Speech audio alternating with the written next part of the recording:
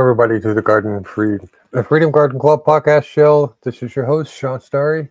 Today we have an interview with Jason Longoria, and we are going to be talking about uh, foreign policy. And this is an interesting subject because this is something that we've been dealing with for the last 250 years, and we've seen some ups and downs, successes and not so successful uh, as in this in this administration anyway. Um, and Jason is going to be sharing his views from the United Party on foreign policy. Hey, welcome, uh, Jason Longoria. Hey, Hey, Jason. how are you doing? Pretty good. Pretty good. I'm I like excited. The trim job looks great. yeah. Just uh just a little uh shedding for the winter. So today we're going to be talking about foreign policy. This is this is one that uh a lot of foreign countries right now are, are have been kind of harping uh, knowing that Trump is going to be in office and they're already talking about foreign policy. So we want to kind of cover this with you today and get your your views on this and what the, the views of the United Party would be, what it would look like. So, um, the first question I have for you today is Should the U.S. prioritize diplomatic solutions over military intervention, or are there situations where military actions is justified to achieve foreign policy goals? I think that the view of the United Party would start to fall under diplomacy before military intervention. Military intervention should be something that is a absolute last resort, at least in my opinion. And I'll tell you why. We have the technology to go out and decimate just about any country we, we would like to. Is that the right way to go about it? I don't think so. I think that it would hurt things in the long run. And one of the bigger problems I see in diplomacy today is they're never thinking about the long term. They're always thinking about the quick solution and not worrying about the catastrophes that it'll cause down the road. So, in particular, you know, you can argue that diplomacy should be the primary tool in foreign policy because it promotes peaceful conflict resolution, right? And we talked about conflict resolution. Right. It also fosters international cooperation and reduces the risk of war, which which are all good things. But on the same token, military intervention in some cases requires us to show our strength and direct action as it's necessary to protect the national interest. So we can't be pushed around. So, and and some countries we're going to find they're going to respond to aggression, and uh, they're they're going to pipe down really quickly, and it would all have to be in the sake of of maintaining global stability, right? Because one of the things that we have to take into consideration is are our actions going to cause an international conflict between two allies or adversaries, or an ally and an adversary? And we don't really want to be the ones in the middle because I think what we're seeing a lot now with what's happening in the world is we're being proxied into wars that are not our issues. And that's another thing that we have to discuss at some point is what is the line of our involvement in a conflict between two countries that don't involve us, but because of our treaties and our involvement in NATO, we've signed on to support them despite what the argument's actually about.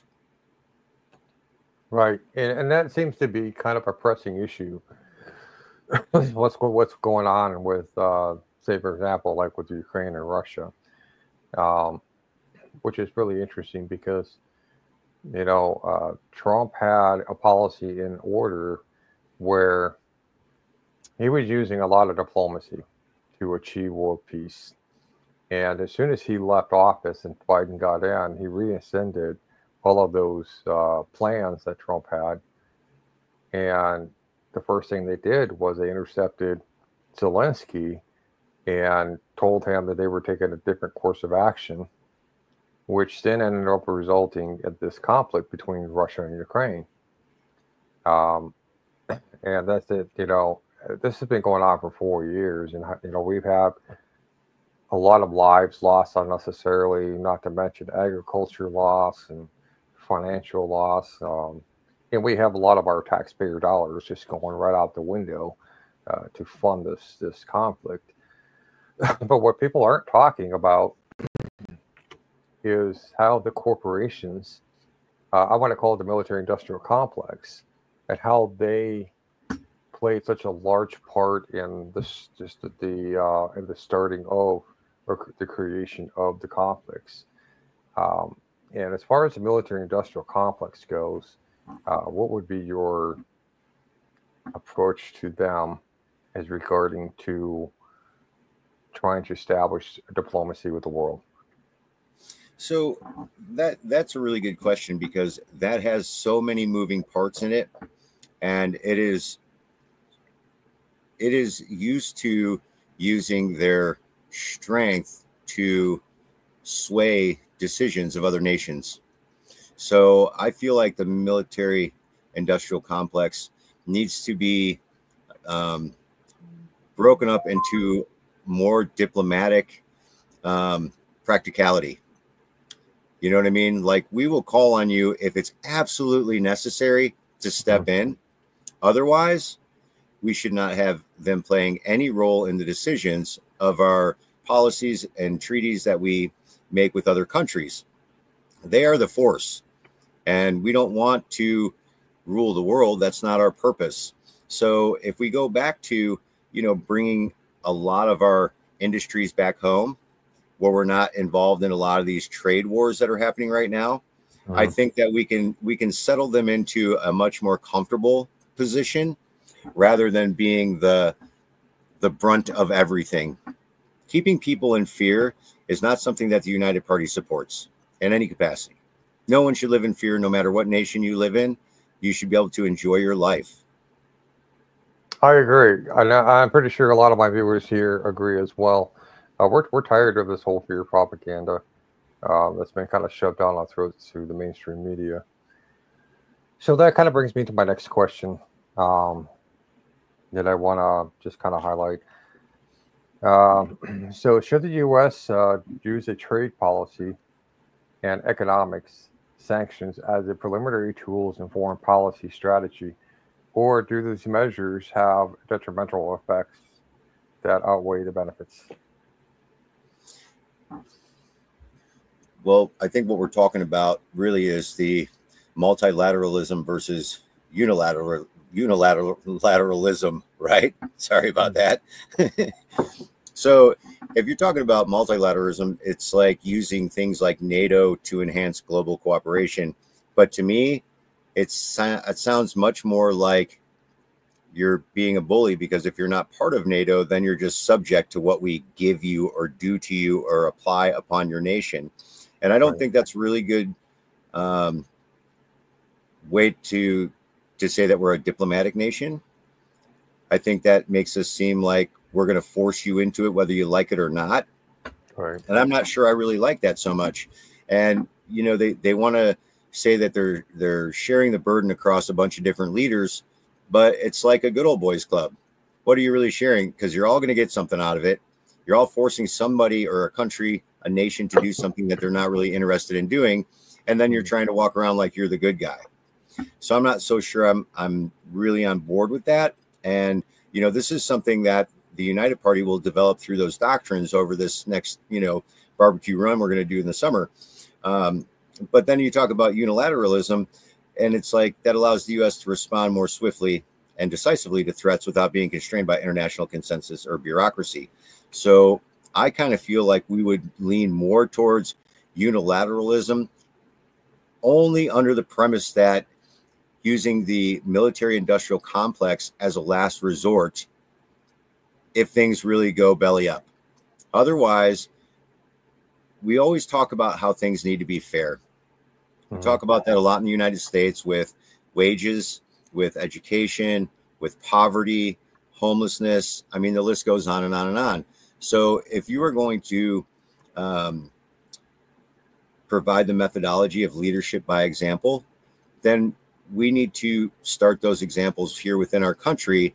And then as we choose better leadership, I think our diplomacy skills will increase and um, the level of fairness amongst the United States and other countries will tend to level out at a much better place than it is currently. Mm-hmm. Because one of the things that we find is that we go to a country where everything is really, really inexpensive. We throw up this huge amount of infrastructure. We put whatever industry in there that's going to bank off of that country's back.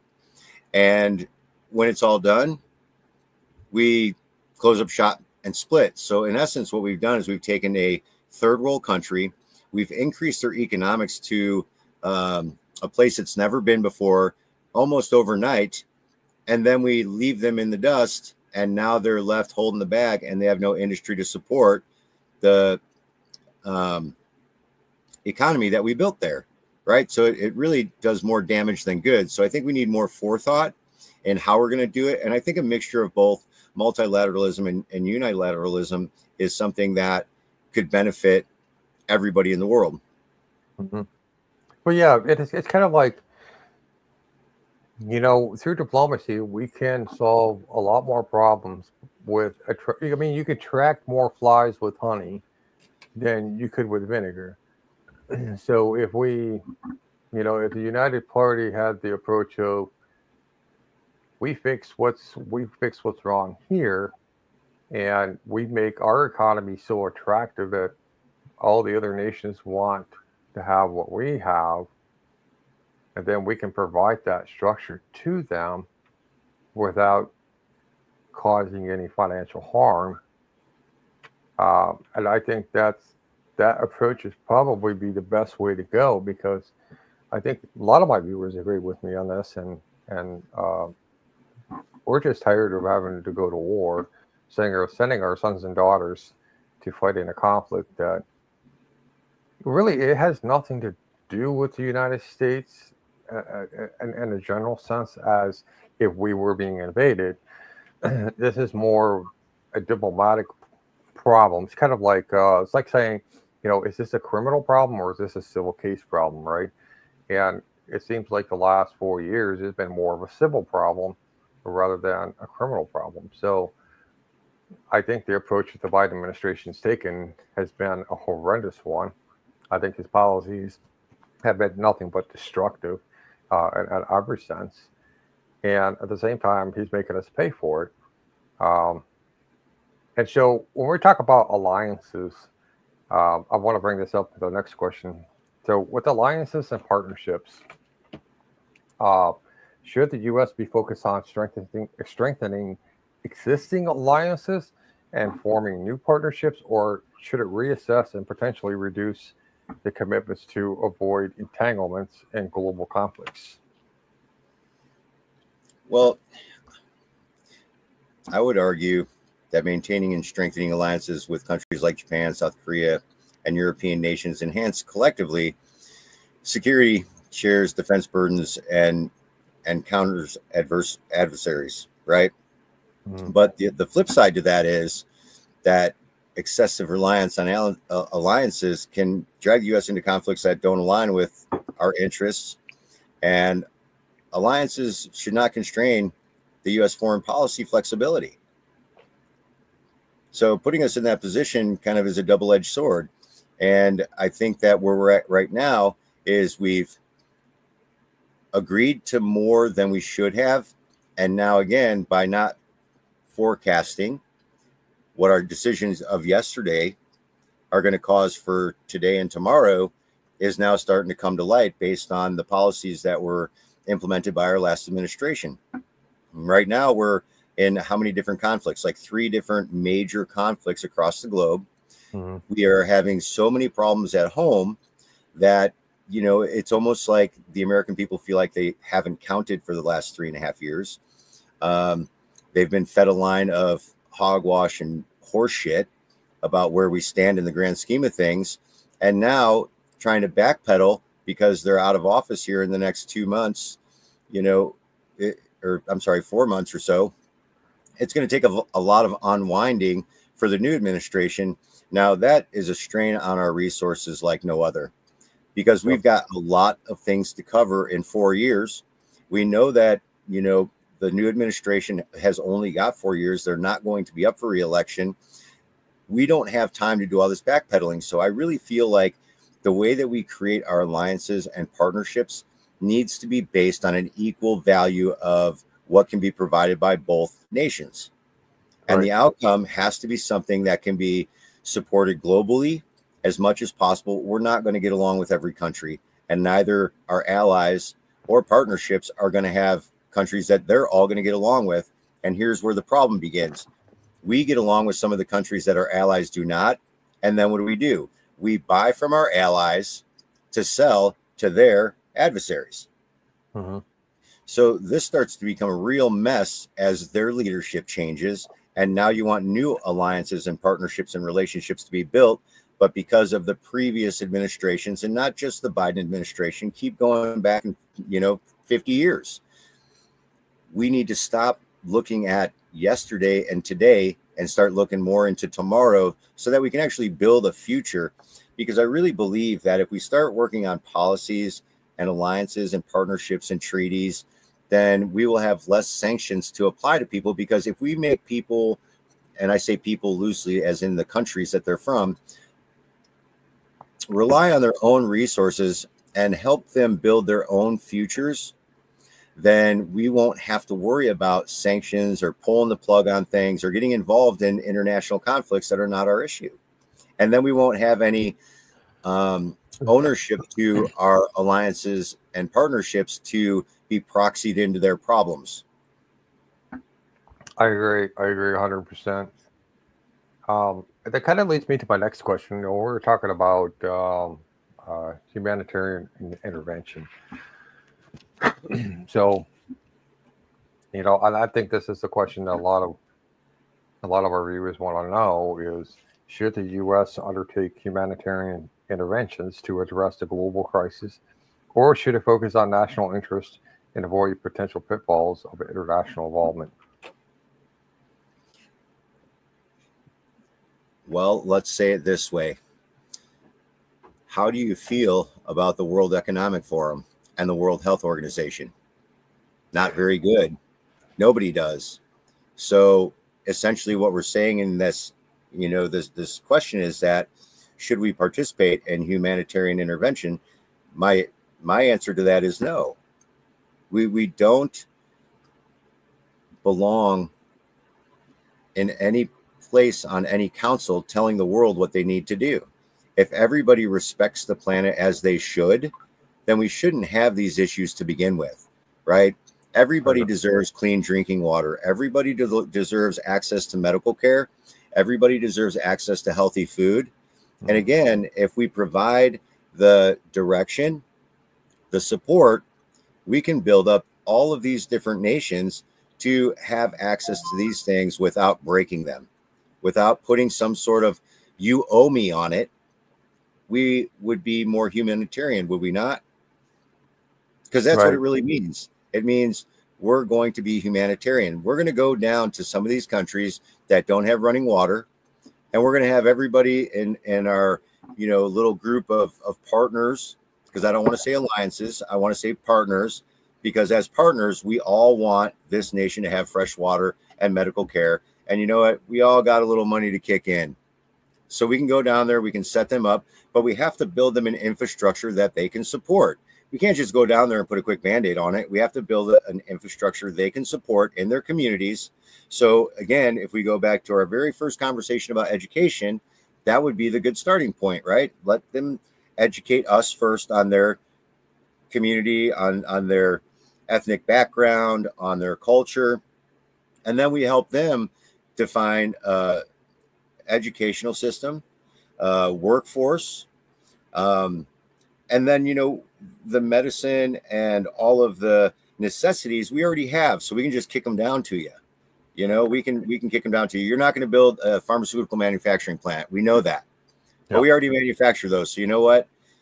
Once our administration comes in and we level set like how much medication is going to cost, they don't need to become billionaires by killing people.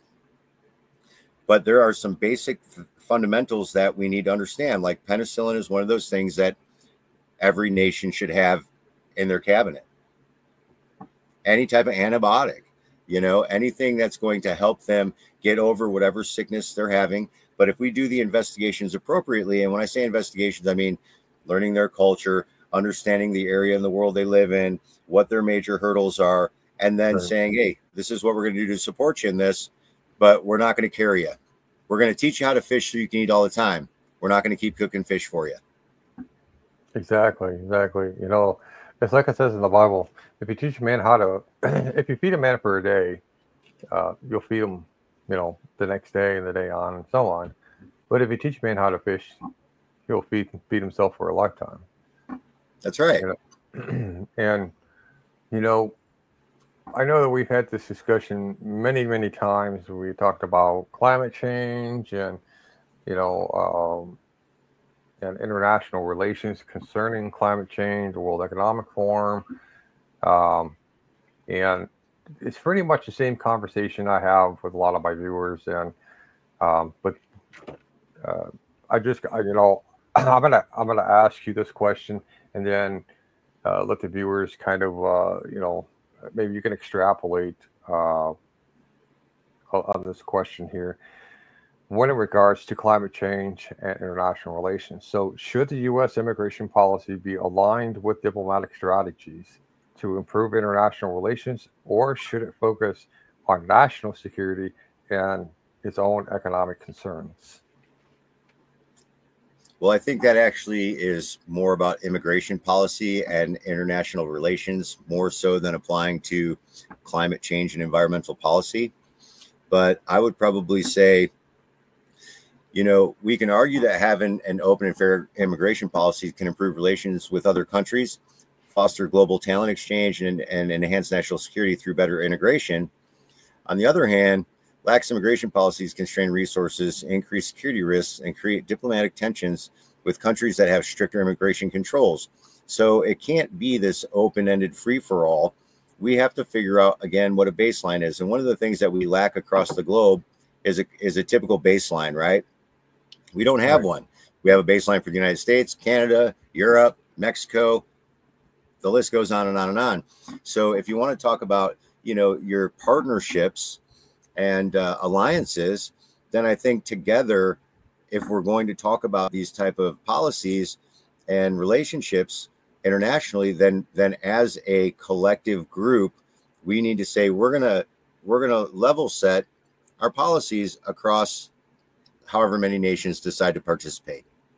Right. right. So it's going to be the same to get into France as it is to the United States, as it is to Japan, as it is to, you know, Nicaragua. I mean, keep going on and on and on with the name of the countries, but we have to have like a basic standard of how they're going to get across, how they're going to come back, how we're going to interact with one another, and not have, you know, it it is extremely difficult to get into Japan.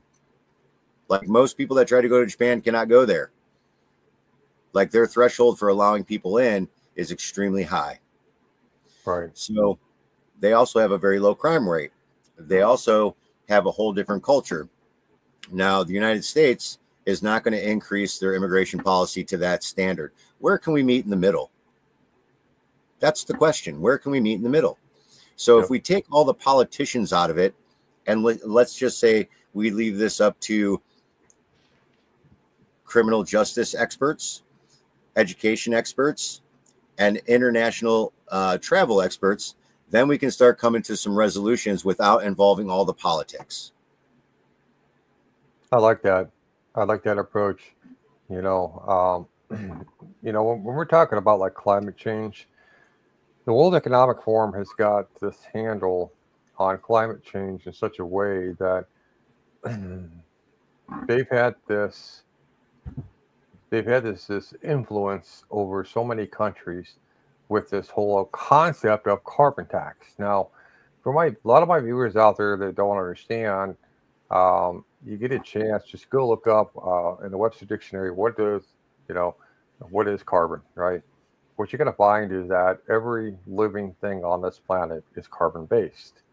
So yeah. they're essentially saying is it's a human tax, right? So because we're carbon based, so we're it's this the whole thing is it's nothing more than a Ponzi scheme uh, to to lead people astray. Because and the reality is is that they're collecting all this money, it's not being used for the things that they say it's supposed to be used for. Um, instead of just you know coming out and say, listen, well we need to we need to figure out a way to come up with some money to pay for the infrastructure. We got bridges falling down. We've got roads that are you know terrible. Um, let's let's just focus on this specific part of what it is that we need to deal with. But instead, they just say carbon tax, and carbon tax is such a broad term. It, it, it's almost as it's it's a a non-fictional word that they came up with. It's a fictional word that they came up with where they just apply that to everything, every issue, every policy, and but the thing is, there's no transparency. That we we have no idea where that money's going. Um, yeah, that allows for a lot of politicians to be corrupt with the money. Um, and part of that problem uh, we're seeing is is how they're uh, trying to use carbon tax as a way of saying, well, you know, it's part of national security, right? It's part of national security, but we don't know exactly how much of that is actually going to national security. And even a lot of the financial pundits out there, uh, they don't have an exact figure. And that should be a major red flag, I think, for many people because uh, we've had a lot of like cyber attacks, especially in the last four years. We've had more cyber attacks in the last four years than we've had um, in the previous 25, 30 years. So, um, and that kind of leads me up to my next question is, is should the U.S. Uh, prioritize, prioritize cybersecurity and digital diplomacy in its foreign policy? Or should other areas of international engagement uh, receive equal or greater focus?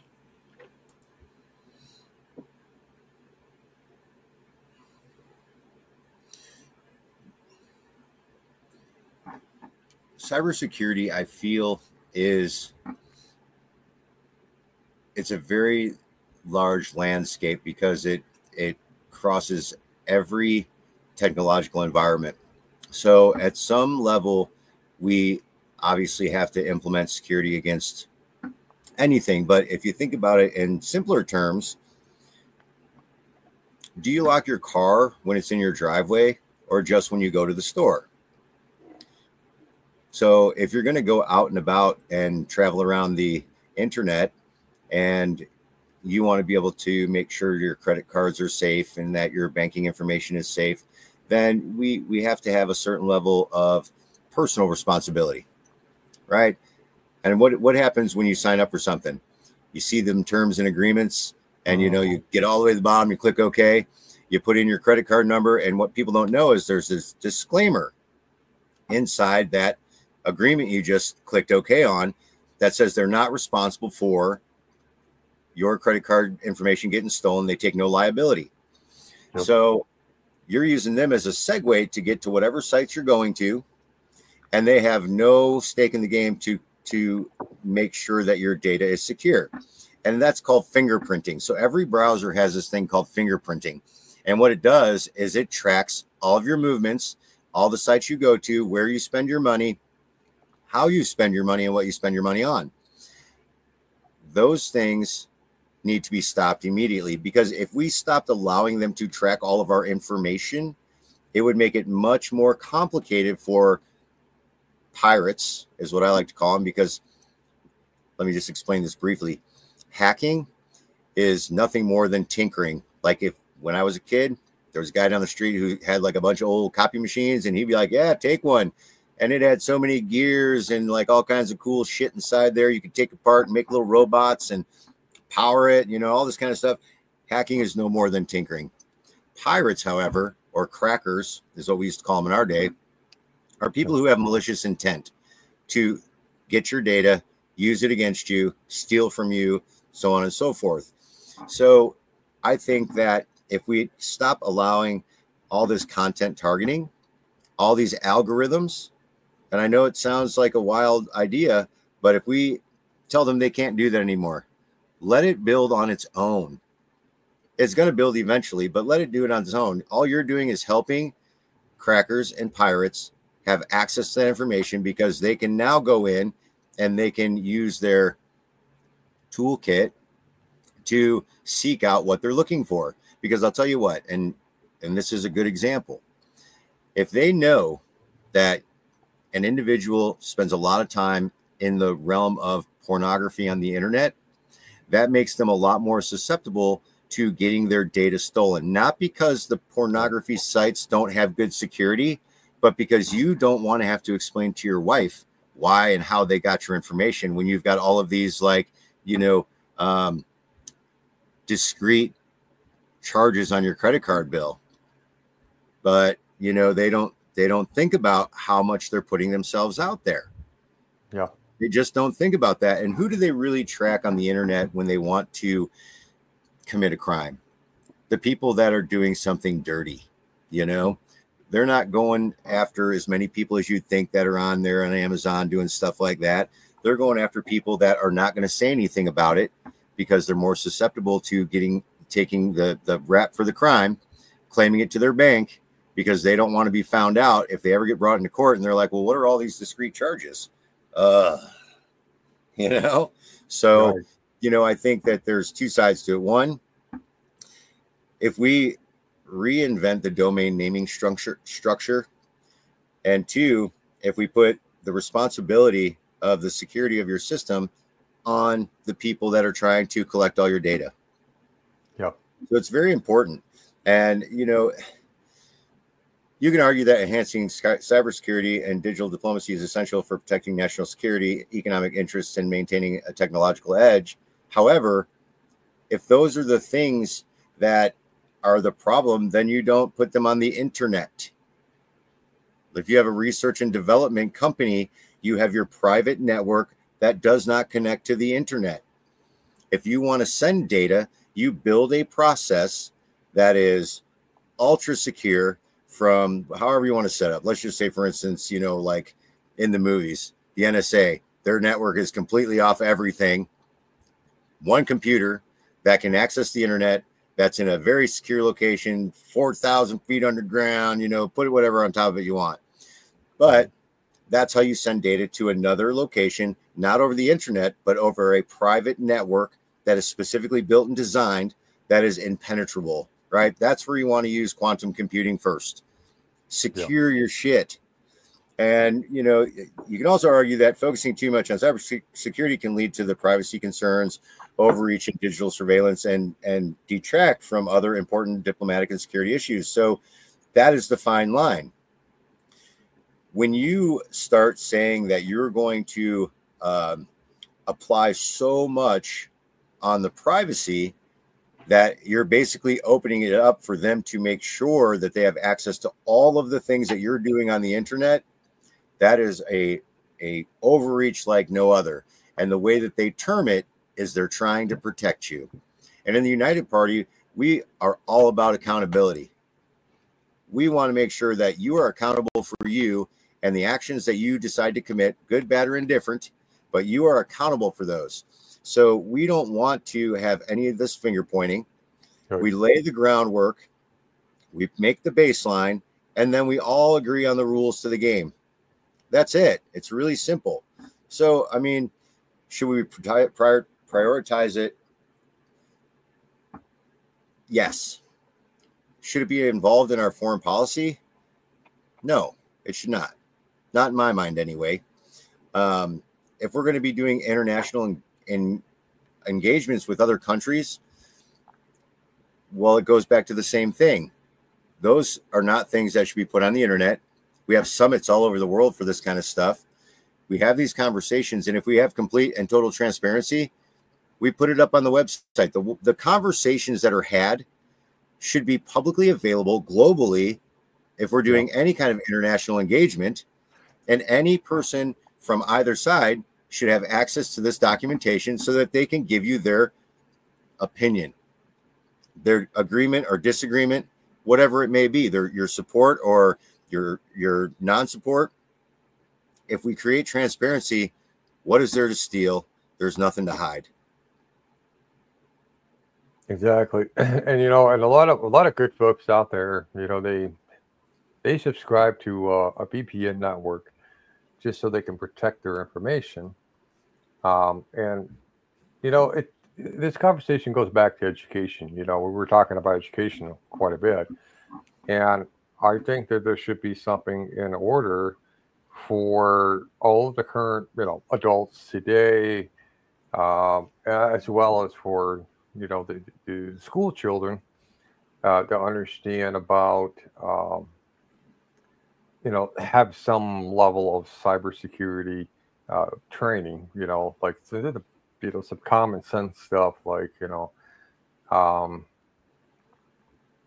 you're a lot safer if you're if you're running everything kind of like analog. So so to speak, like I buy things with cash. I don't buy them with credit cards uh, unless I absolutely have to as one of the last resort emergency. Like say I got to get gas or I have to go and stay at a motel or something. but it's getting to the point now where uh, cash is, is becoming irrelevant and everything. We've got our national security, we've got uh, the entire banking system, we've got uh, all the retailers now are starting to move more and more towards the digital aspect and less and less towards the actual physical cash, which makes it even more harder. Um, so I think there needs to be some kind of a, lo- a level of education that needs to be uh, taught at an early age, um, and of course, you know, uh, you know, accessible for everybody uh, in our country because we see a lot of older people. They get scammed a lot, usually right around the holidays. And tax um, time. Yeah, and that's you know one of the big things is um, in the past you know, um, when uh, when I first started doing uh, podcasting, or I would talk a lot about uh, you know national security or personal security or home security or whatever kind of security. Um, you know that cybersecurity is becoming more prevalent today. It's just a growing market. Uh, there's more and more people are going to school for it, but we don't have uh, a basic approach to how you know somebody like me who say I don't have any knowledge whatsoever, I'm elderly. How do I you know, how do I do this? How do I do that? Without giving my information. Um, and it's almost to the point that you don't even go online at all.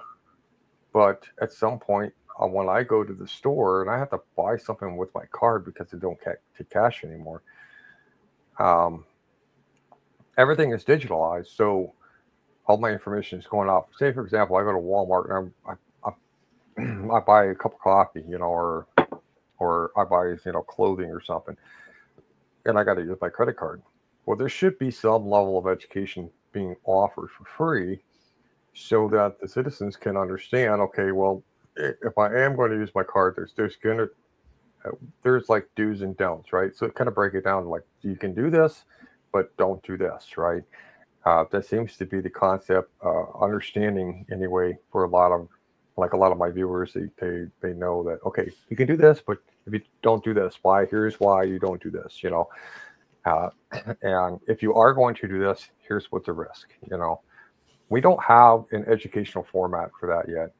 Um, internet, when it first came out, it was it was it was a whole new world. It was a, a, whole new, like you say, a double-edged sword because there was so much that we didn't know but yet the bad people out there saw this as an opportunity.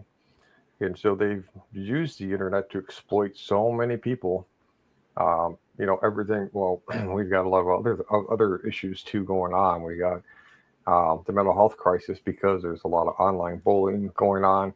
Um, I mean, you know, it's almost like uh, in the psychological world, you know they're they're trying to coin a name a term for this but it's almost as if uh, people develop a bipolar personality or in real, in real life you know if you were having a conversation face to face it'd be it'd be one thing. But it seems like when people go online uh, they become this other persona and you know uh, people are kind of you know still dealing with this. I know the our generation the older generation were for the most part we're pretty honest. We're pretty transparent about who we are. And that's because of our upbringing we didn't grow up with the internet i mean we we basically invented the internet uh, so for the younger generation this this is this is a challenge that we've got to find a way to help them overcome because and, it, it, even for you know our generation and older, we, we need to have some kind of a format, some way to say do's and don'ts about uh, you know when you're when you're going online, you know, and uh, this these are things that you should do and things you shouldn't do. And, um, and like I tell a lot of my people is listen when you, you go online and you do something stupid, just understand that your IP address tracks you right to your house. It's like a GPS signature, and so you want to be very careful about what you're putting out there and, and, and what kind of attention you're attracting to yourself, you know. And uh, there's and there's there's always going to be that bad guy out there that's going to try to take take advantage of the situation. But that kind of leads me to uh, my next question I wanted to ask you is uh, we're going to be talking about uh, military alliances and defense spending. This has been a hot topic for a lot of my viewers. Uh, we've been talking about this uh, quite often, uh, off and on. But should the U.S. invest heavily in military alliances and defense capabilities, or should there be a reevaluation of defense spending and international military commitments? Maintaining strong military alliances and investing in defense ensures, you know, global stability deters aggression, and reinforces U.S. leadership on the world stage. However, excessive defense spending can lead to waste and diminished resources for domestic needs, and the U.S. should reassess its global military commitments for sure. And the in the view of the United Party thus far, I think that we collectively think that defense spending should really go down significantly. I mean, it really should go down significantly. And as far as military alliances, we don't even take care of our soldiers at home. And we're trying to train soldiers around the globe. I, I don't think that the United Party supports that very much. I think that we're kind of like the guys in school that are like, yeah, we're cool with everybody, you know, and we can hang out with everybody. But we're not here to protect you. Don't do stupid shit, and you won't have to ask us to come stand beside you and help you fight a fight that we're not involved in. So, we've talked about this a little bit briefly, but I really feel like if we take and bring all of our military defense contracting in house, it's going to cut the spending exponentially. I mean, yeah. it's going to cut it down to probably a third to what we spend total. And if we spend more time taking some of our military defense spending and spend it on the people that have already been in the military that are suffering from PTSD and several other issues, you know, physical, mental, housing, you know, we we have to start taking some of our defense budget and saying, look, it's not about building weapons of war. It's about making sure that the people that are there to use them can come home safely. They don't really need to be used unless absolutely necessary. And that we're not just showing our cards all the time. We're not just teaching everybody how we run our military over here. Like, why are we mm-hmm. sending all of these men and women over to the Ukraine to train? As soon as the Soviet, I'm sorry, I'm sorry, as soon as Russia figures out that we're doing that over there, and they decide that they're going to, you know, pew pew those guys, then uh, now we got a problem with Russia, right? Right. And we're just over there doing some training that we shouldn't even be doing anyway. Because I, in my mind, I think if the United Party, as it develops, you know, will start providing a, a vision of, you know, minimizing military defense contract or spending because our military is already very strong. We're focused on our nation, and we will have um, more people wanting to join because the benefits of joining. Um, let's not forget about like the lifelong paycheck and all that kind of good stuff, but they'll really get something valuable out of it. They'll learn a lot about themselves. They'll know that when they get done, that we'll be there to take care of them, mm-hmm. and that we're not going to be sending them all over the globe to train everybody we're over there for diplomatic reasons. We're over there in our embassies so that if somebody has some issues seeking asylum or one of our citizens is in a jam and we need to stand up and, you know, do our job, that's what they're there for. So I really think that we're against the, the high defense spending.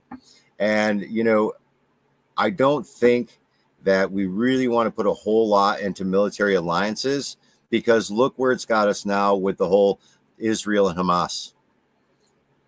Exactly. We're, yeah. we're being proxied into everything. We're sending our kids over there that have no stake in the game. Whoever wins or loses that whole ordeal over there is going to have zero impact on us. 0 mm-hmm. Either Israel's going to get bigger or it's going to get gone. Right. Right. And, It'll and, get consumed and, and and you know when I did the Panhandle documentary, one of the things that I found in my research was is that the military-industrial complex. Okay, so in particular, there's a company called Vanguard. Now, mm. Vanguard, I, I'm, I mean, I don't know what Joe Biden's policy was during at the time, but um, Vanguard decided they were going to take their business to China in 2006. And one of the big things they did was they were selling China the very same equipment that they were selling to the US military. And one of the biggest problems I had with that, anyway, as an independent, is if we have a, a, piece of technology that nobody else has, that should be the first primary goal is to protect that technology from falling into the wrong hands. And it, it, it's always been that way, um, up, up until Obama anyway. And then in, in 2008, they, China found out that they were selling it to you know to our U.S. military. They put they put sanctions on Vanguard uh, for for doing that. but the interesting thing is, is that we have a military-industrial complex who uh, is not being held accountable. They don't. Uh, they don't have an allegiance to any country or any one country. Uh, their allegiance is to the dollar, and So I guess as a, what would the United Party's approach be on that issue? So, well, well, a couple things. The the company you're actually referring to is called AIA. Vanguard is a financial firm, and the topic that you're actually talking about, they made a movie of it called War Dogs. And what it was was they were moving munitions after we got done with the war over there in Afghanistan. They Mhm. went and collected all that stuff, and then they sold it to a, a country that was not on our cool to sell to list. Right. So the way that that we would handle things like that again would be all of our all of our technologies, all of our munitions, we would be responsible for. So we would not be leaving billions of dollars of equipment over in another country to be sold off to another country that's not our ally. And we would we would have a much um, more stringent policy on how that equipment gets redistributed or sold to another country based on the age and value of the equipment Mhm. right like we're not going to give them our new technology and just you know pay them a bunch of money to move it because we didn't want to leave it there because that's what happens it becomes a bidding war right the, you Mhm. get the military industrial complex they need some contractors to come in and move some stuff because our military legally cannot do anything um, because we've you know disengaged the war's over blah blah blah whatever the case may be so now this isn't really my area of expertise but i would probably say when it comes to a situation like that we would again have to hold them accountable on uh, a multi-nation platform right? So if it's causing a beef between the united states and china then it would be up it would be up to the leadership in the united states and china to figure out how are they going to mitigate this from happening again what is going to be the prosecution process and who's going to take what role and responsibility in each part I like that. I like that. because again we're trying to get along right we're trying Right. to get along so and one thing about military defense contracting companies like you know boeing and and raytheon they have locations all over the globe and they do private contracts for other countries that we may get along with today but maybe not tomorrow and those contracts aren't going to stop right? Because they actually have a business in europe or you know whatever country pick one. Afghanistan iran they have facilities there where they have researchers working on technologies because raytheon is a name. It's a research and development company that does military defense contracting across the board for the military industrial complex. And you know that's where we need to define the rules of how that's going to operate within the United States. We can't tell them what to do in another country. But what we can do is say if you are going to have a division of just as an example Raytheon, which I mean I like those guys. I mean I worked for them for a long time. They're a great place to work for. But you cannot have any communications outside these borders. Period. If you're within the United States, you have a headquarters here, you do all your business here, and none of your computer systems, none of your infrastructure, none of your communications ever leave this country. Now, what you're going to wind up seeing is a bunch of crybabies. Well, that is not fair because they can't they can't get the global grab, right? right. tough shit. Go over there and, and start up, you know, Raytheon Tube. Same thing that America's doing to TikTok, right? Yep. TikTok's owned by a Chinese company, but their American division is 100% separated. There is no data communications between the two of them, so they say. Yeah. And you know that that's the boundaries that they need to start setting on anybody who's into military defense contracting, just to mitigate any of these kind of things happening. Not only is it very dangerous, but it could inadvertently trigger a war between two nations that were cool for a while, and then this happened because in that particular story you're talking about, they had to move all those munitions against an enemy's territory and get it mm. to the guys that they were trying to supply it to. Yep. So we Yep. don't want to be we don't want to be involved in that because that's where some of our problems really begin, right? Is we say, "Oh yeah, yeah, no, we got you. We're going to do this, we're going to do that." But when it comes down to the brass tacks, somebody's got to pay. And because there's no transparency, they can basically undermine whomever they want and hold whoever they want accountable to be the fall guy. And that individual company or nation has no idea it's even coming. But when you got things like NATO, you've got however many countries saying, nope, this is what you're going to do. This is how you're going to suffer. And this is what your consequences are. And the poor country had nothing to do with it. So we got to be very, very careful about allowing any of that stuff to be moved amongst the globe or around the globe. It's got to be something that is in our country, our country only. And I'll tell you what, you get caught doing some dumb shit, you know where you're going to wind up, right? Yep. That ditch ain't done. It ain't going to dig itself. right.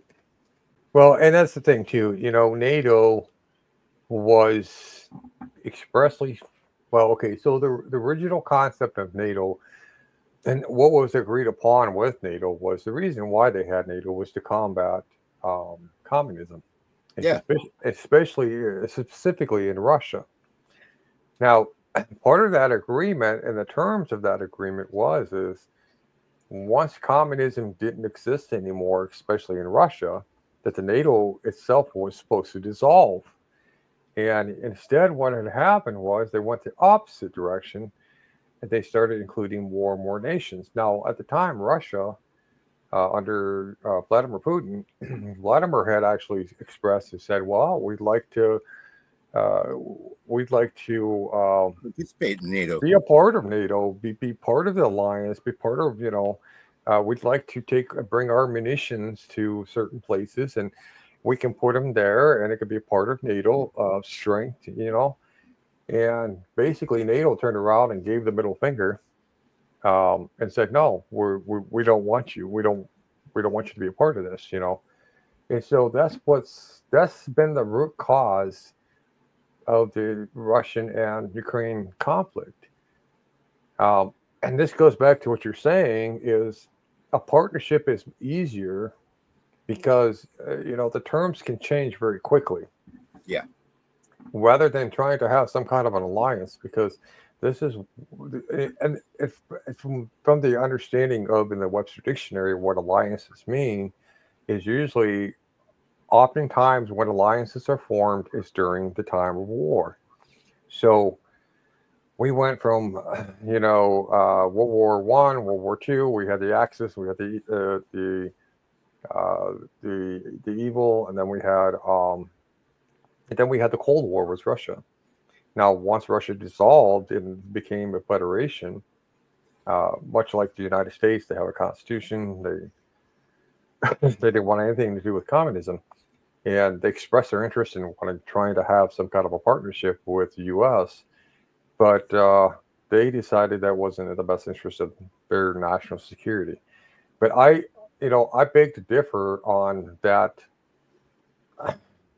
that line of thought that our leaders had because normally if you want to achieve world peace you want to do it through diplomacy you want to do through um, you know economic ties you know you want to do through all these things, but every everything that they our leaders have done has been detrimental in the long term in the long run. And uh, you know i agree with you 100% about uh, getting rid of nato getting, getting rid of the un um, or at least uh, redefining some things within the un so this allows a partnership between all of the nations of the world, not just a select few, but yes. allow that platform for everybody to come. They can send that one guy from that one country come and he can say, well, we're having an issue with, say, Cuba because they're placing economic sanctions on us and we're we don't want to go to war. We want to be able to to sell our items to Cuba, but for whatever reason, Cuba decides, you know, hey, um, we're going to uh, place tariffs on you because we don't like the way you're conducting business in your own country with your own citizens. Um, and this is where you know if everybody just gets on the same on the same you know uh, same understanding is that you know you run your country the way you want to run it um, it's not our business to tell you what to do and it's not your business to tell us what to do and how we should run our country but we could benefit. Well, all of us can benefit if we, uh, you know, we set up some kind of economic trade where we can have a peaceful a resolution where, you know, everybody is, you know, on the same page, and uh, you know, they should resolve the differences within the UN first before uh, they start placing sanctions, right? So that's that's always been kind of my approach is, you know, it, like for example, we see this a lot on TikTok. So if somebody says something that I don't agree with, I will go to them in their DMs and I will say, hey, you know, I think you had some some interesting ideas, but um, I'd like to offer a different, you know, uh, uh, a view on this, or I'd like to offer a remedy to this, or, you know, but what happens is, is people will just take to the internet and all of a sudden they start putting stuff out saying bad things about this person and, and creating this conflict, you know, and almost like a clickbait type situation with no intent to resolve the situation to begin with. Um, and I think if we if we as a nation get back to the idea of the premise of well, you know, if the United States is having problems with Russia, I think it's a great idea that our president, you know, if you became president of the United States, is to pick up the phone and call, say, Vladimir Putin if he's still the president, and say, hey, you know, we had a we had a situation and one of our rockets, you know, uh, just fucking went AWOL. We had no control over it. Uh, it landed in, in you know, a la on the other side of your border, and we screwed up. You know, taking that acknowledgement, say, hey, we screwed up. So instead of you know declaring war or whatever, how about this? Uh, we will come. Uh, we will send you the money. If anything, we'll send you the money to pay for whatever damages. Right uh, it's just kind of like a one-time thing, but maybe in a sense, maybe we can do some other things too to help kind of fix it. You know, to to make amends to that situation, right? Have some kind of diplomacy in place, but it seems like the people we are electing to represent us on a world stage has been always been consistently, um, you know, deny, deny, deny, and then deflect and then blame the very person or the very country they got that got injured from from whatever type of actions. Um, but this brings me to my last question I have for you uh, today, um, and we're going to be talking about is global leadership um, and exceptionalism.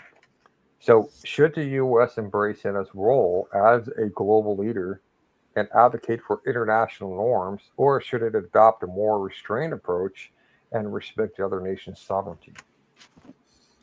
Well, let me go back to the last question real quick because I, I just I just wanted to prove or, or just wanted to voice my opinion a little bit on that. This is all under the thought that world peace is a reality, and it's not. Like mm-hmm. that's something that the world has to come to terms with. There will never be world peace. There just won't. That's like trying to assume that every person on the planet is a good person. And that's just not the truth. So we have to understand that. Secondly, the idea that we could get along on that type of level is going to take so much unraveling of the last 50 years, 60 years of lies and deceit that it's almost best to wipe the slate clean and start promoting transparency amongst the nations within their own nations. And again, it's not our business. The UN will will quickly evolve into the World Economic Forum if we were to put something together like that because what happens with human beings is they group into clubs and cliques we see it all over the world, and it's always been that way, and it always will be that way. Mm-hmm. So I don't think that that's the greatest solution. In my mind, I think we should have four UN type, you know, communities, and each of the four should have representation that go to, you know, uh, a hangout if things get to the point where like we need to have some discussions.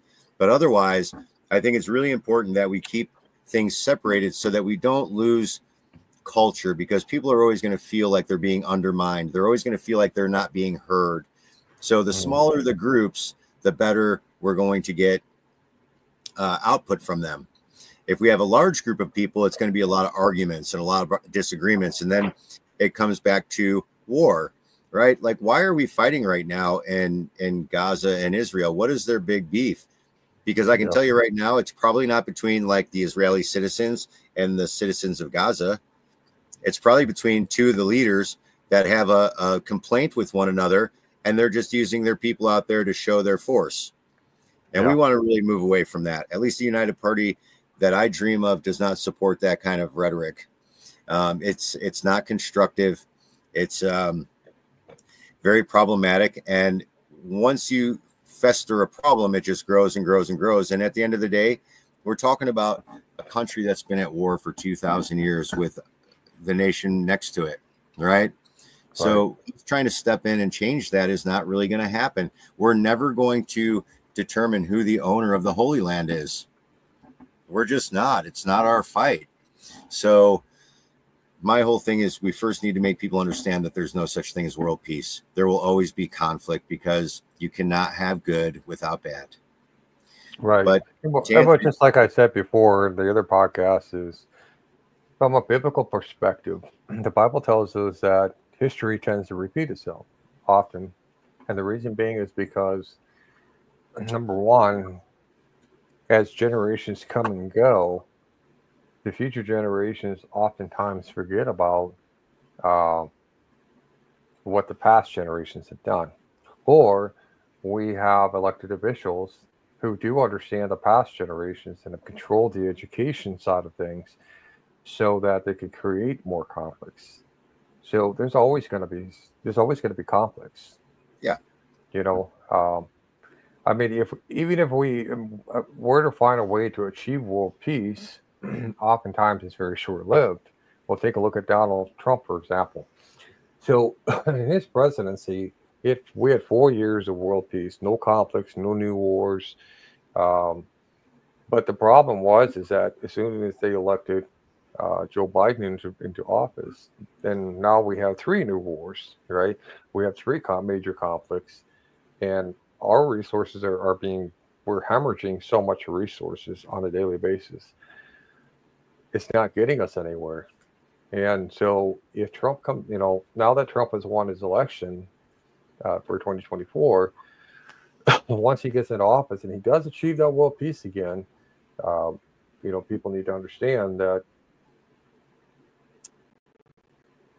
we may have uh, just we may we may end up in the position where we're only going to have this world peace for four years.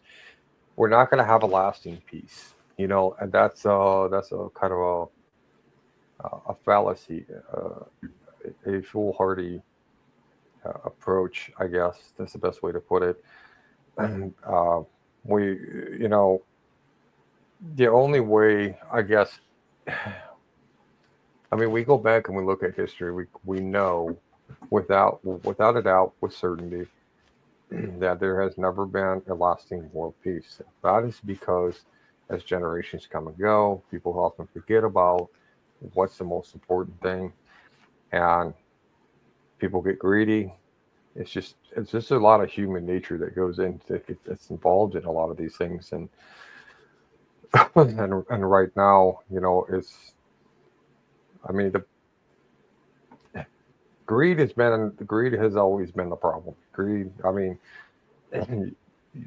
it's it's gonna you know the situation is is we're always gonna go back and forth. We're always gonna have war. We're gonna have peace for a while. Then we're gonna have war again. It's just gonna be that's just a part of life. That's just you know uh, that's unfortunate, but um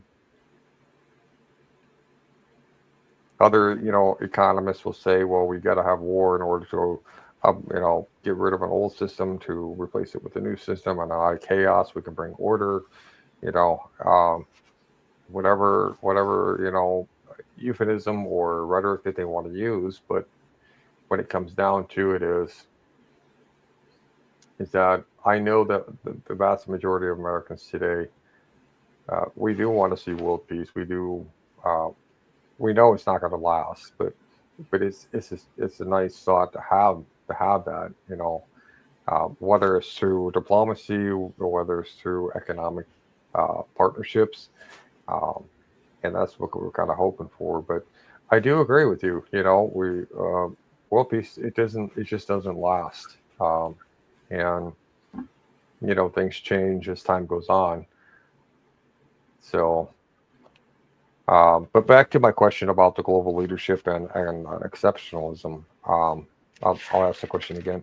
Uh, should the U.S. Em- embrace in its role as a global leader and advocate for more international norms, or should it just adopt a more restrained approach and respect other nations' sovereignty?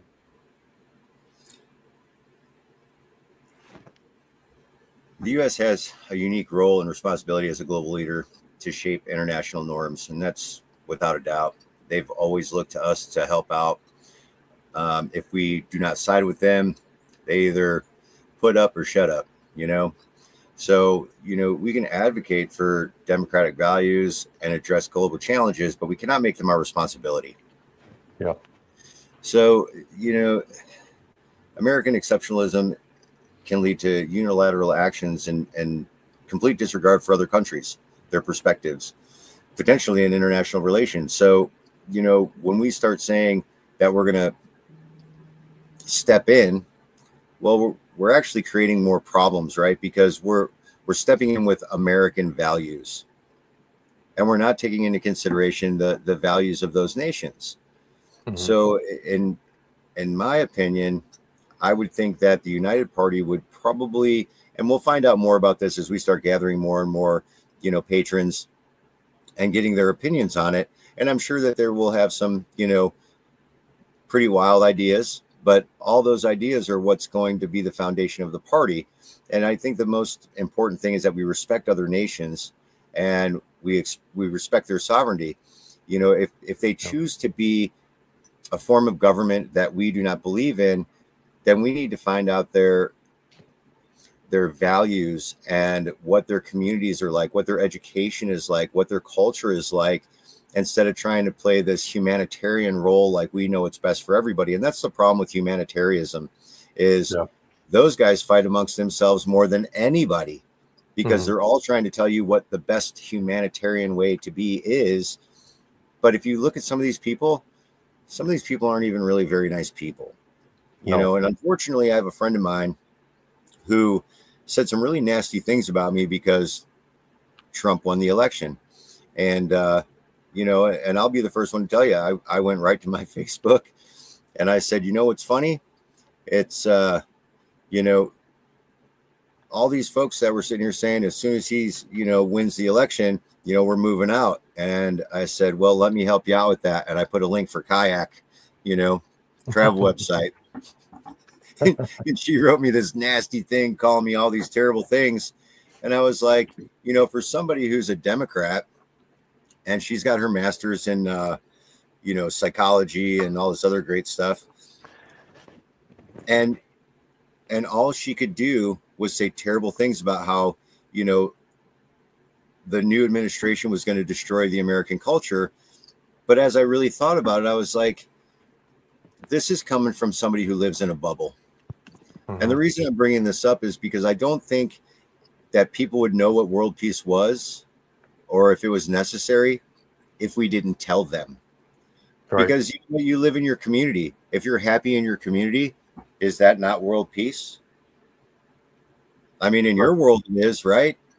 Yep. So I think, you know, if, if people stop trying to be so humanitarian about everything and make everything equal, then I think a lot of that stuff would start to fall off. And I think it's really important that if we are going to provide any type of global leadership, that we do it with respect to the other nation's culture. And we can yeah. only show you what has worked for us, and we can show you what hasn't worked for us. And then from there, you can make your own determination on what you feel like you should cherry pick from the good and put back from the bad. You know, it's that simple. If you can recognize through our mistakes what's coming your way, that's wonderful. You've mm-hmm. got insight now.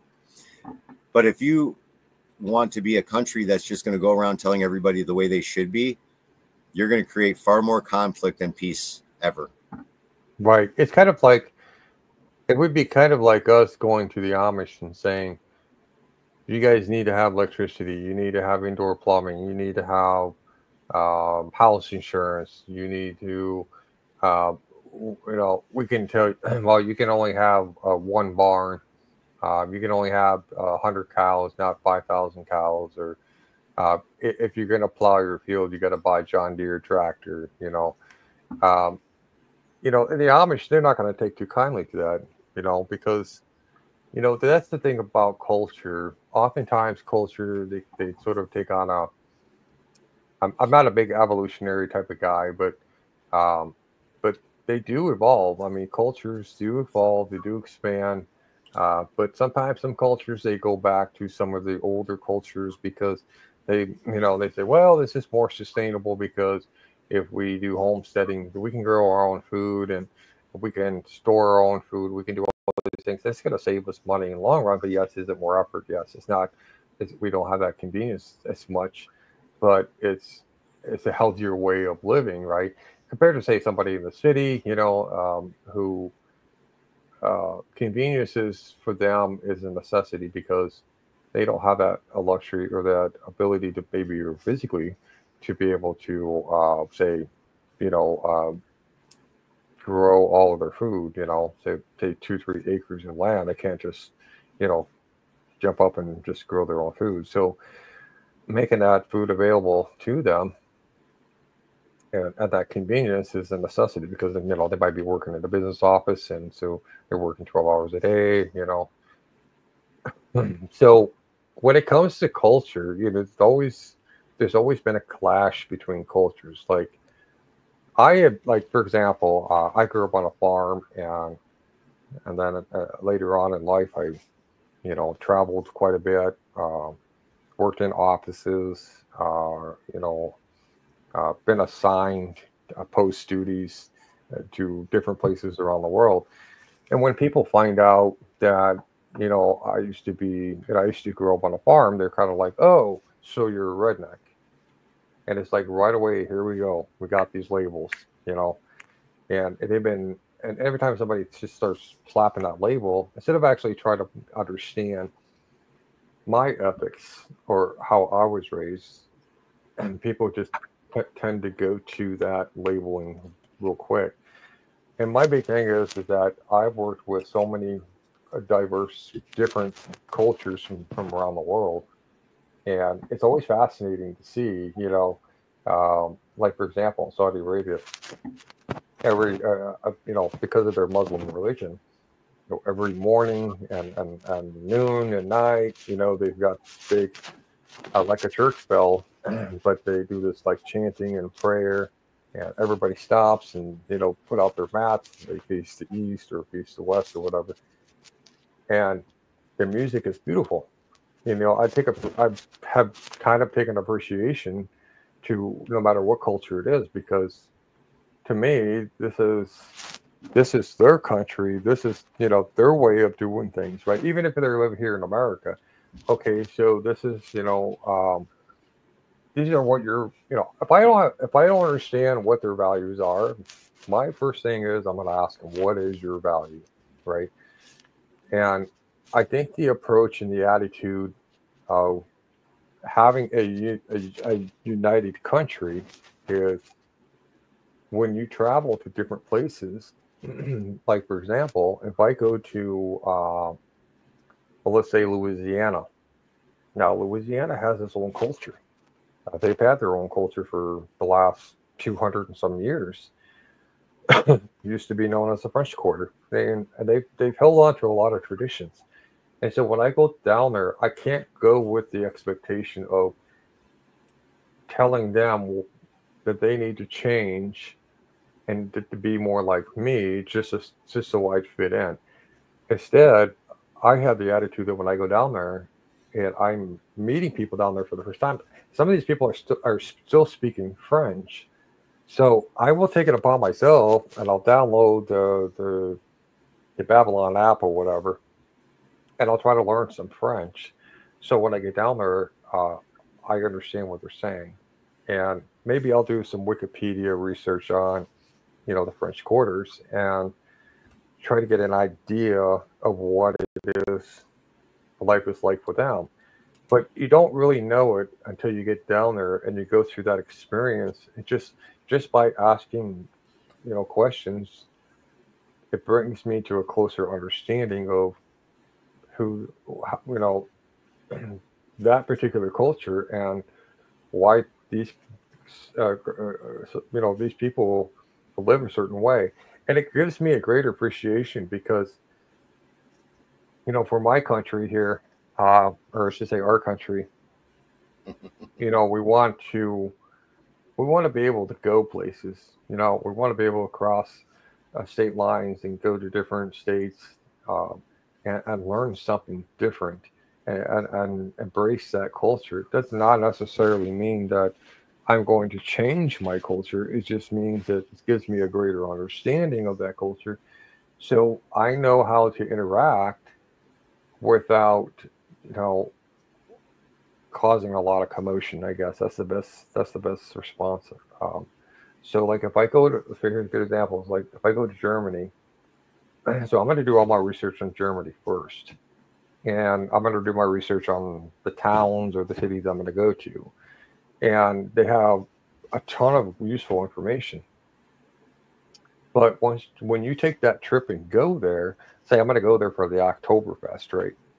And my goal is to eat as many bratwurst uh, and drink it, you know, a ton of beer or whatever. But once I get there, and they in their culture, you know, if they have they have a certain way of doing things, especially if you're an outsider coming in. Um, you know, they'll pander to you. You know, they'll give you, um, they'll sell you some outfits or whatever, but you can't actually participate in like certain dances, right? So, and that's something you learn by just being there, by going there and being there. Um, and I think, you know, with what has transpired in the last four years is there's been less people traveling and less people understanding of each other's cultures, especially here in America. We've got, we've been, we've, we've been pitted uh, it's, it's, this is amazing how the internet can be used for good, but can also be used for the most evil things. Uh, we got people on the Democrat side, we got Republicans, we've got independents, we've got all these other parties. And it almost seems like nobody can get along. Why? Because there's people who don't understand or not willing to take the time to understand what is your values. and instead, what's happened is we've had this the left side of things being consistently shoved down everybody's throats. And that's what's caused so much hostility. So this goes very long, right along with what you were saying, is by respecting other nations' sovereignty, instead of trying to tell them, you know, if you've got a problem with somebody else, um, you know, do it the American way. what, we, what we should be doing is okay. I'm going to take a trip to, uh, let's say, Yugoslavia and and uh, the country of Georgia. They're having some problems. So I'm going to go to Yugoslavia. I'm going to go there as, as a tourist.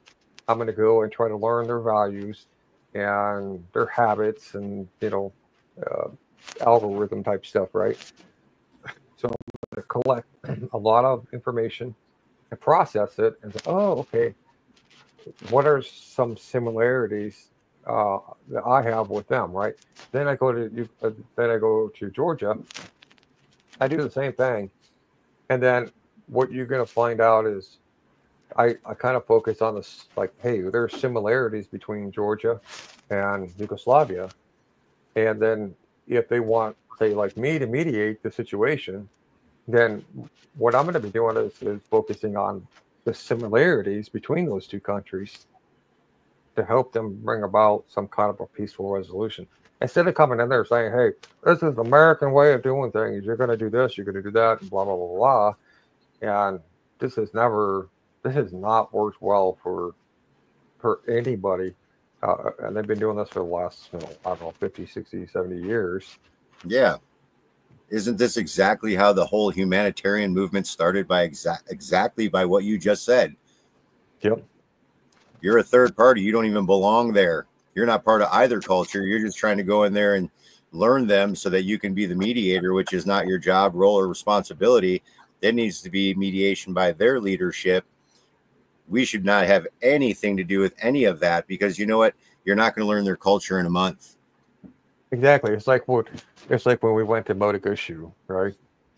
And UNICEF and UNICEF and the UN and a few other agencies were involved. But they would go when they do food drop offs without even trying to come to understand Mogadishu, the culture, the people, you know, how, how things are there. And, and the one thing they, they, they kind of did was they put this embargo on them.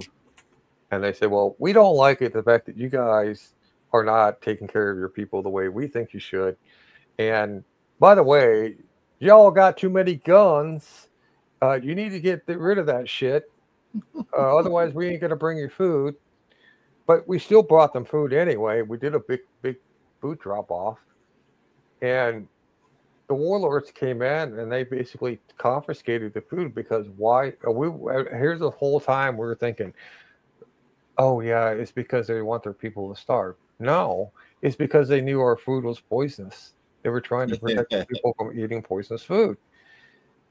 And so they, you know, the media jumped on it. And of course, the media is being all controlled. And they, what were they telling us? Oh, they're, oh, they're trying to keep the, you know, they're trying to starve their people, basically.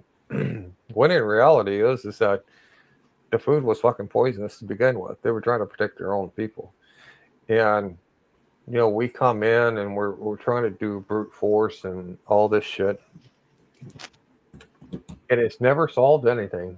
It's never does. One conflict after the next, just keeps keeps roving, keeps changing, and just you know, oh my gosh, and it, it's it's almost like I want to say this. This is phrase that's been kind of thrown around since 1776. It's always been the nation of the people uh, it's always been the will of the people who have built this country off the backs of those who do the hard manual labor. We, you know, those are the people that build the country. But if you want to destroy a country, just throw a bunch of suits in there, get them elected, and what do you got? A shit show.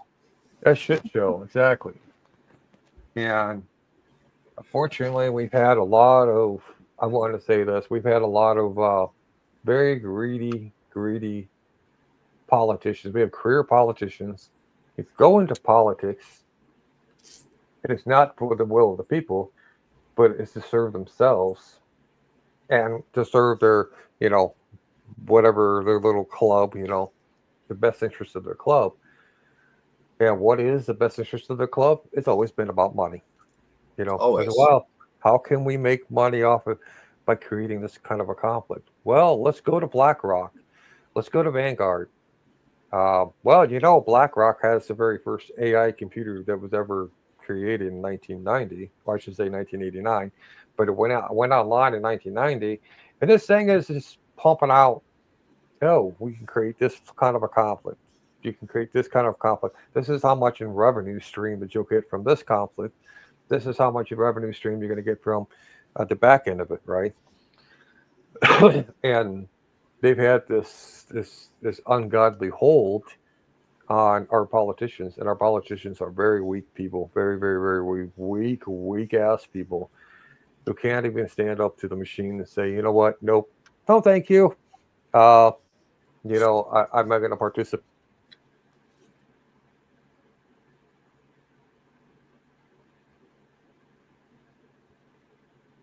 Uh, we want to achieve this world peace, you know. But we're going to do this way. We're going to uh, focus on you know our own sovereignty, take care of our own problems first, and you know if those countries want to, you know, whatever, let them solve their own problems. But you know if they decide to come here and, and mess with us, then they can fuck around and find out. But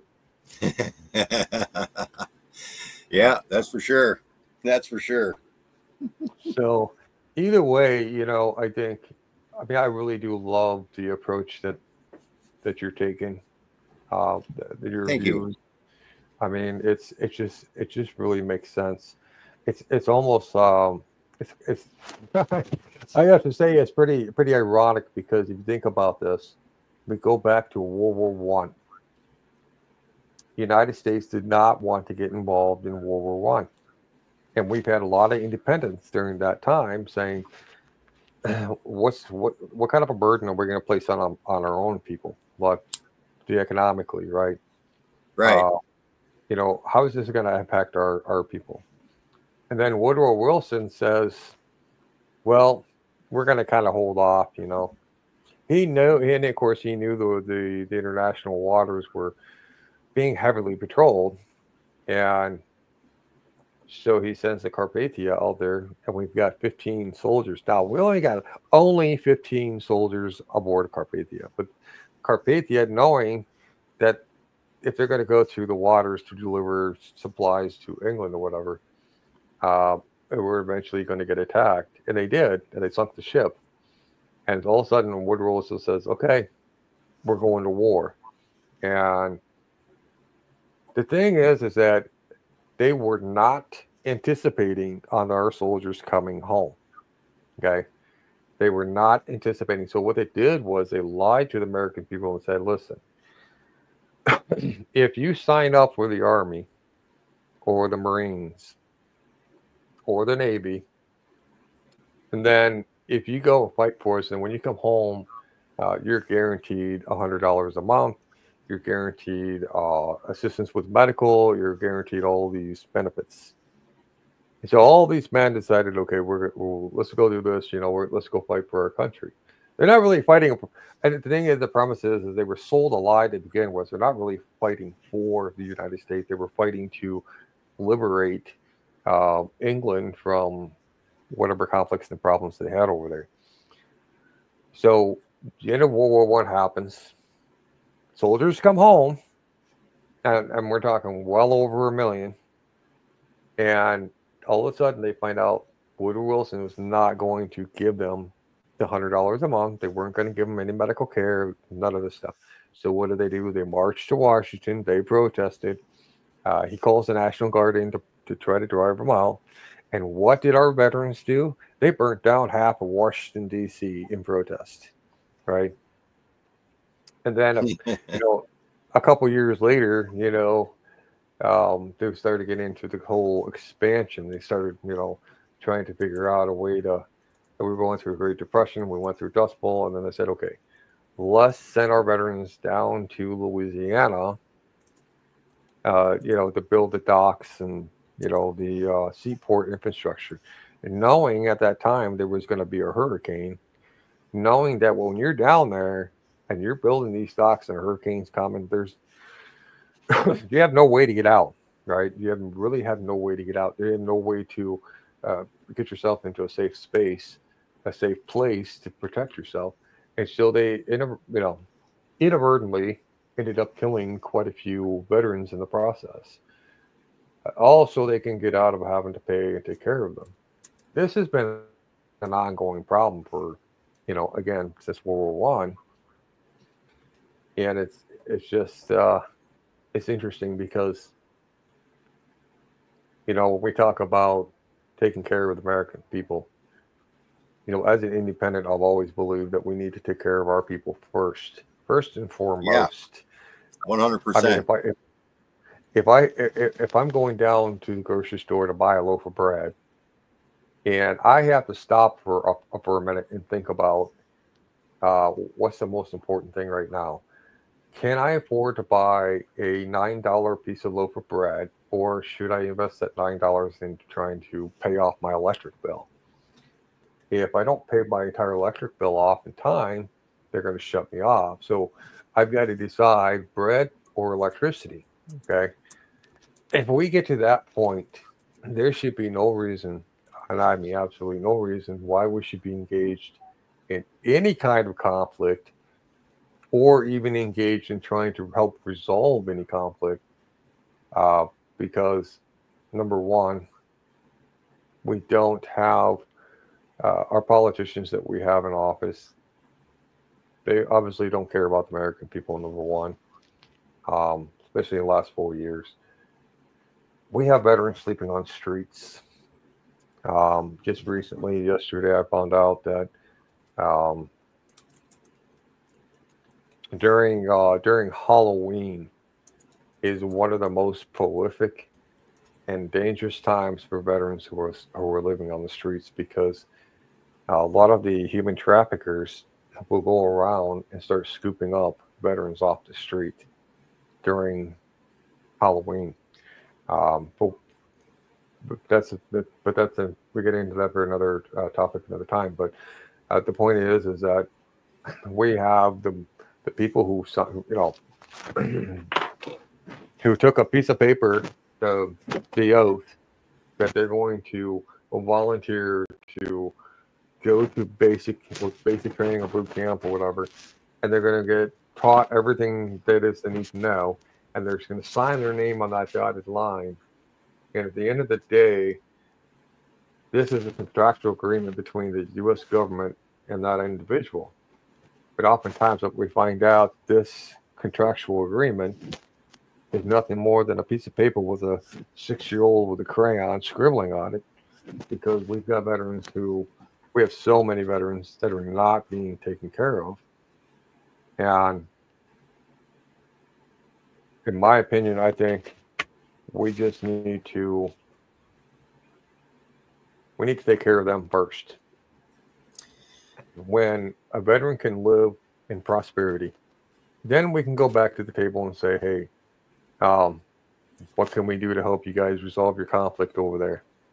You know, we don't want to start a war. We don't want to. We don't want to create any problems. Uh, you know, tell me a little bit about your culture. Educate me. I want to know everything there is to know about who you are as people, so that we can help you guys. You know, but listen, we're not going to do it the American way. We're going to do it your way and your way. Well, how, how do you guys do this? How do you do this? Okay, let's find the similarities. Oh, so you guys like eating pizza. Oh, you like pizza too. I got an idea. How about this? You sell your pieces to these people, and these people sell your pieces to those people. Or how about this? Just don't selling, don't sell shit to any to, to each other at all. You just do you, and you do you, and let's just leave it at that. Yep, Yep.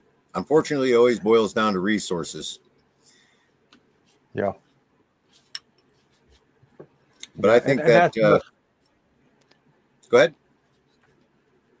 Well, just like uh, right now, lithium is the new gold rush. And for my viewers out there that are listening, I want to tell you this.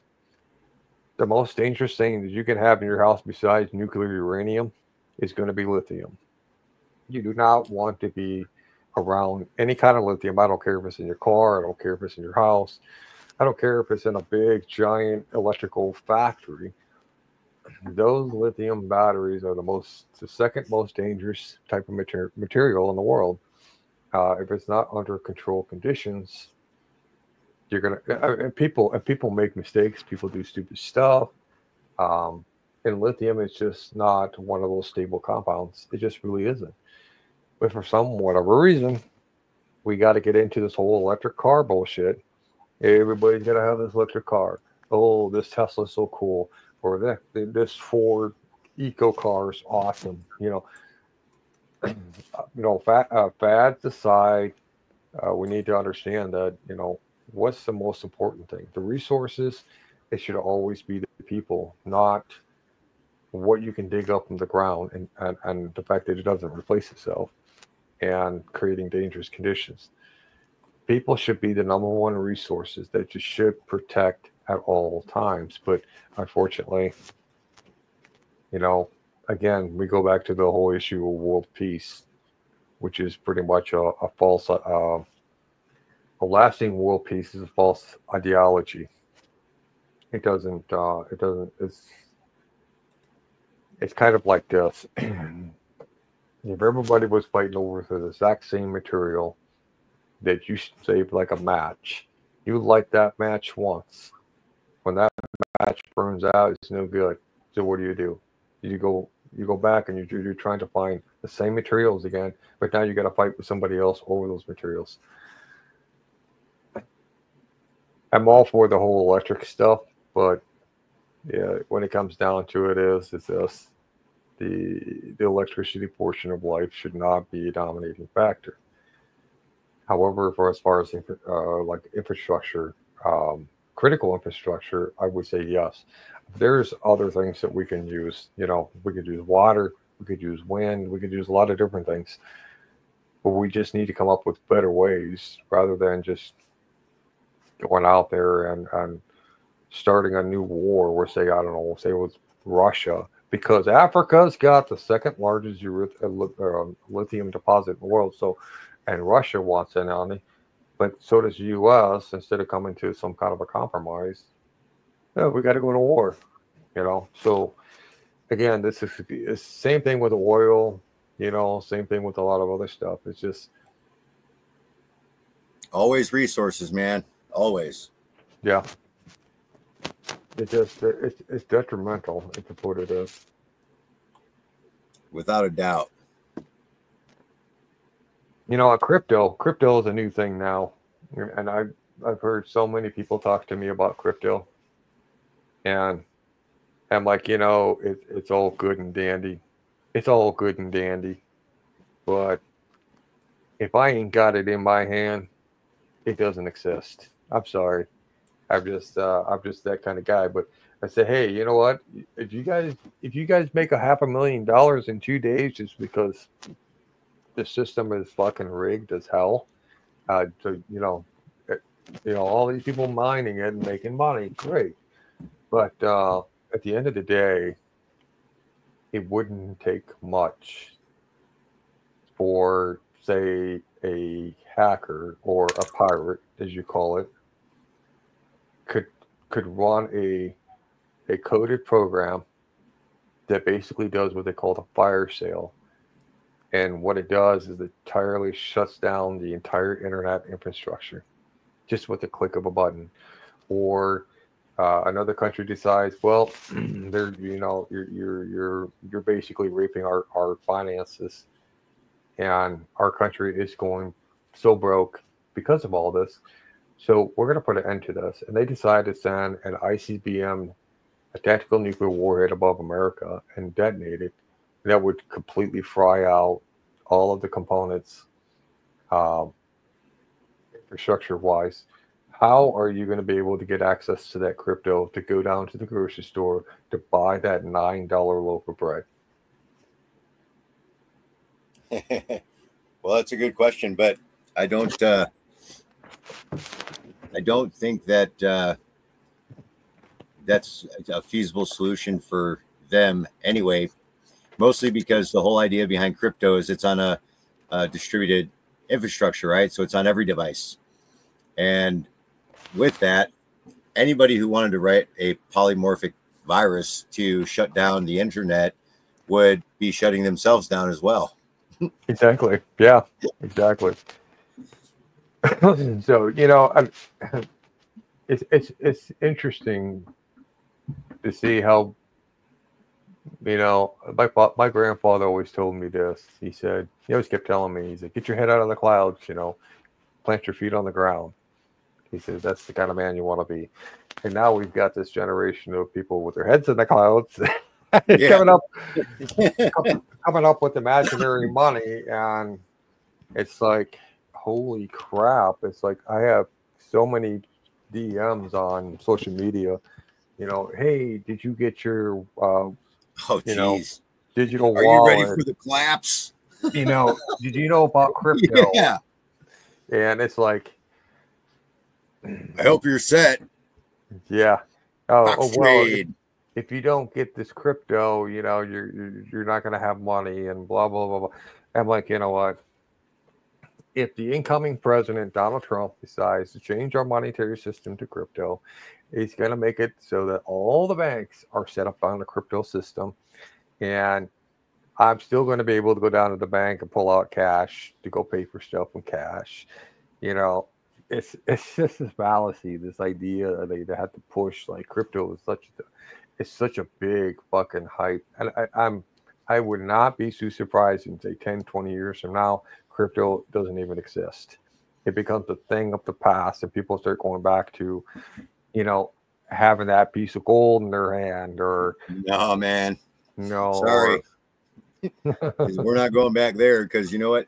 The other thing you got to take into consideration and is that you know with everything running into this whole virtual reality thing where you know you've already got the goggles out there and you're starting to see them you know re- if they weren't so bulky they would take off a whole lot faster but the point being is that when you're inside this virtual world you have to have a way to buy and sell things right and that's the whole premise of crypto right is that you know you'll be able to do it in the virtual world where you're virtually walking into a bank and virtually getting virtual cash, I guess. you know, but it's all make believe. You know, that's the problem, right? It's yeah. all make believe. But as long as people keep putting value into it, it will have value. But when something, when you have a lot of something and it has no value, then it it provides no solution. So well, see, here's the problem with the virtual world. Is, there's a lot of them. yeah, it, when it comes down to the side of security, there are so many security flaws. Like number one, we like, and I'm sure a lot of people can can agree on this, but how many people have been scammed over the internet? There's been um, so many different ways you can scam somebody over the internet, but at the same time, we've got corporations, we've got governments that are, essentially like you said, they're they're stealing data, they're stealing that fingerprint, right? So at some point, they're going to figure out how to do the exact same thing with crypto. At some point, you know, they're, uh, yeah. some some nine year old kid right now is learning how to code. He's going to figure. he's going to figure this shit out. Okay, it's probably my daughter. Well, so, you know, here's the other thing though. If you relate this back to because this this is something that has happened over and over again. You remember when you used to have door to door insurance salesmen? Mm-hmm and you'd be in the middle of Iowa and they'd be selling you hurricane insurance. Telling you, you never know, you know, or volcano insurance. So the whole scamming of people is something that has gone on forever. It's going to continue to go that way, but everything will always go back to education.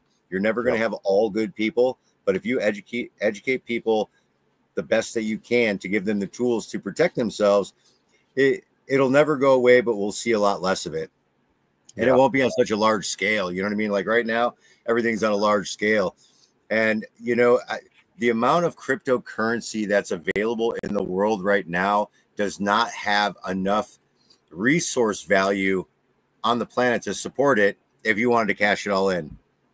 Right, exactly, and, and that's that's where we get into you know the finan- uh, the financial economic side of things is every nation knows this that you can run a Ponzi scheme. Let's say you back your like we back the U.S. dollar with with oil, right? The petrol. Okay. The petrol, right? Okay. So the the scam was is that Rockefeller told everybody that oil is very scarce, so that drove up the prices. Of course. When when in reality, oil was self replenishing. So, you know, the petrodollar is is is essentially is coming to an end. But when they get done running whatever Ponzi scheme, you know, whatever you know, hurricane insurance insurance salesman in the middle of Iowa type situation, yeah, you know, um, they they always end up going back to gold. They end up back in their dollar with gold because gold has been the one consistent belief that has uh, a lot of value. It always holds value. It never, it, it, loses some value, but it never goes out of style. It's just something that has been around for thousands and thousands of years. But um, I mean, everything else comes and goes. The number of people, the population can dwindle, then then reinvigorate itself again. Uh, but it's just like with crypto, you know, it's you know, people are going to start to come to the realization that it's not as hot as they think it is. But at some point, our country is going to end up backing our our our dollars with gold. Now they may use crypto as a means of the measures of the way they tr- do transactions, but um, but there's always going to be you know safety and security concerns uh, with a lot of that stuff. And, and you're right; it, it all falls back to boils down to is education. People need to educate themselves as yeah. much as they can because at the end of the day, you know, like for example, like myself, I just don't feel I don't feel comfortable with having my well, with my social security number being online or all of that stuff.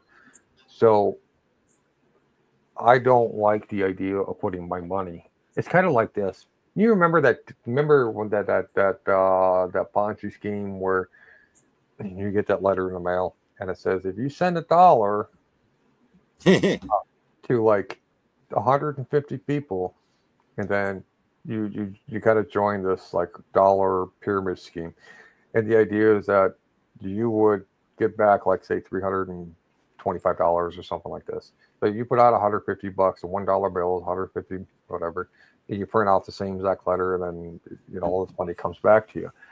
But in reality, is is that that is it, it doesn't work. It, it's just a, a Ponzi scheme. And I know for like a lot of older people, they're frustrated because the way the economy is running, having to decide whether I pay my electric bill or do I buy a loaf of bread, you know? Yeah. And, I think we're all in that spot. Yeah. And you're always going to, you're always going to run into so many different Ponzi schemes running on so many levels. and so somebody like me, you know, I just, I just always believe that if I don't see it in my hands, it doesn't exist. It's not real. Um, for the most part, uh, when it comes to money, anyway.